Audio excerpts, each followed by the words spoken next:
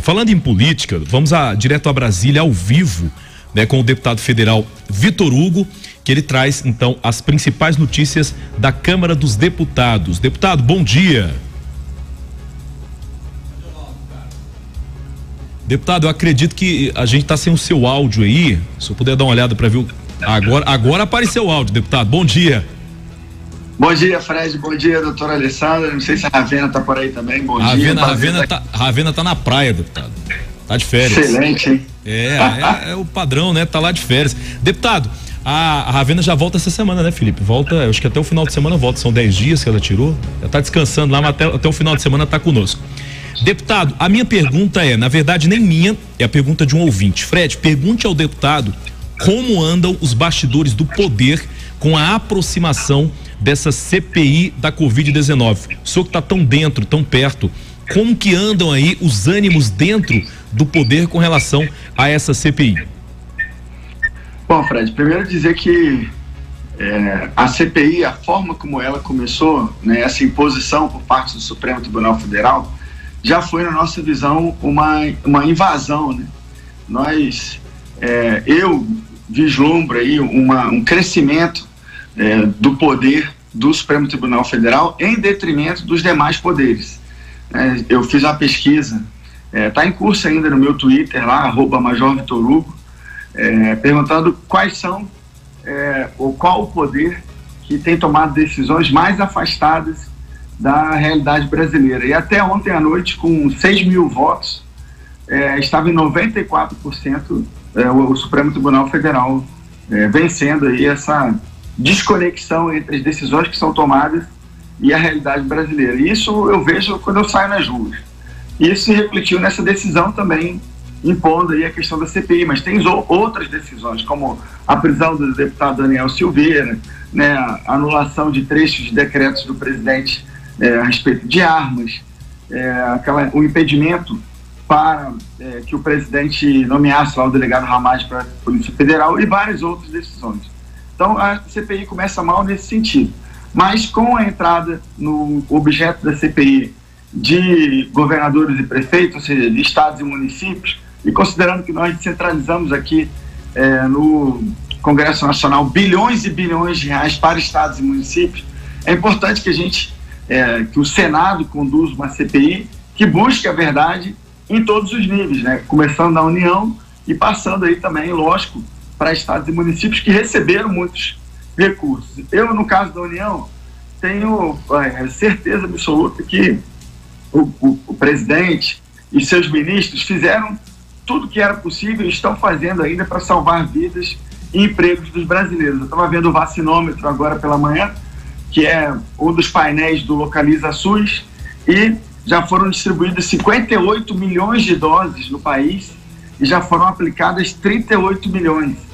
Então, isso mostra que o governo federal, e já temos contratados até o final do ano, é, 500 milhões de doses de vacina. Então, é muito provável que a gente termine o ano com a população brasileira imunizada, com certeza com os grupos de risco terão tomado aí as duas doses sem contar todas as outras ações que foram feitas para preservar os empregos, para preservar as empresas, auxílio emergencial, tudo isso conduzido pelo governo. Queremos saber agora se os prefeitos e eh, governadores fizeram também a sua parte. Eu, tenho a impressão que uma grande maioria fez, mas existe sim, eh, existiram, pelo que nós vemos aí dos relatórios da Polícia Federal, né, das investigações conduzidas, desvios, e é importante que esses desvios sejam apurados também na CPI.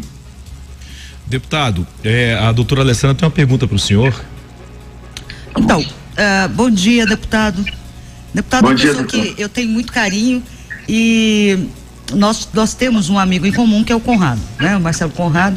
Ah, legal. É, o Fred me fez uma pergunta e eu, eu dei a minha resposta e eu queria ouvir do senhor em relação à necessidade, ao porquê se busca é, o melhor, a melhor relatoria em relação a essa CPI.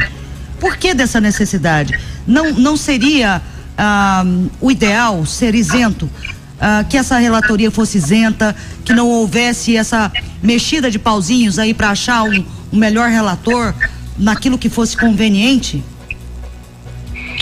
Bom, é, doutora, primeiro dizer, é, que bom que nós temos um amigo comum aí, que é o Marcelo Conrado, gosto muito dele.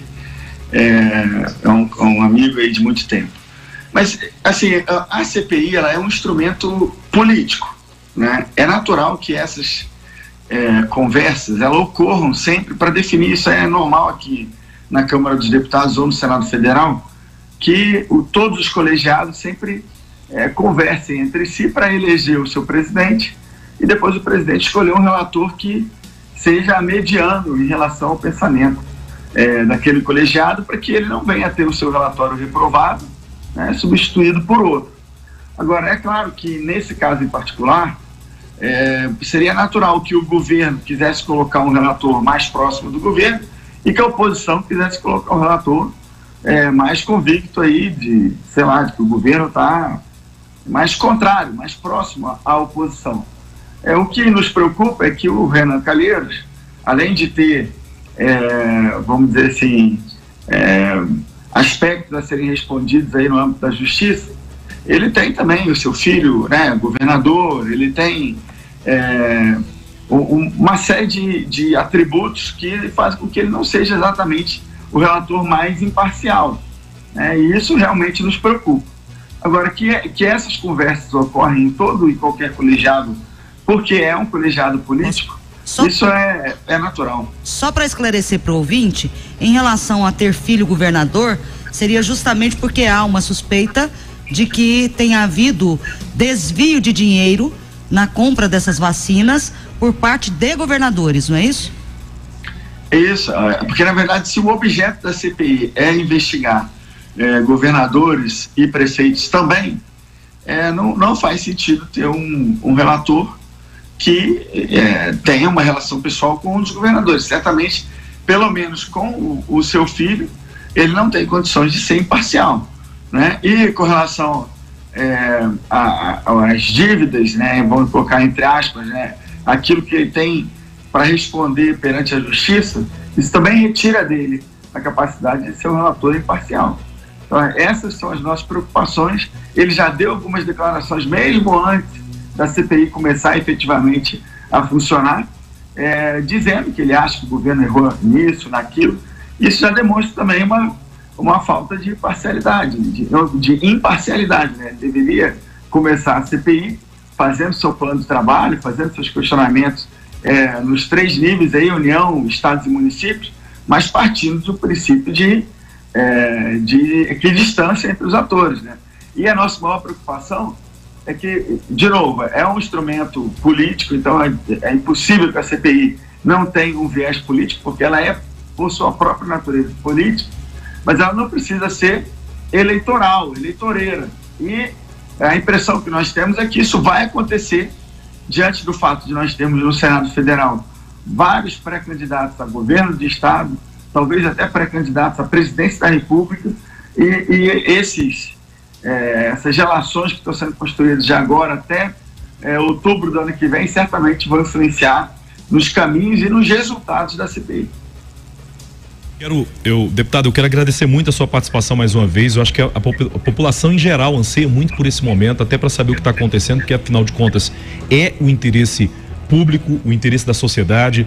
Quero lhe agradecer muito e dizer que segunda-feira que vem a gente conta de novo com o senhor aqui, trazendo novidades aí da, do poder, né, direto de Brasília conosco aqui. Obrigado, viu, deputado? E uma ótima semana para o senhor. Obrigado. Valeu, Fred. Muito obrigado, doutor Alessandro, também. Uma ótima semana para todos os ouvintes aí da Rádio Sucesso. Um grande abraço. Até mais. Até mais. Obrigado, deputado Vitor Hugo, direto de Brasília.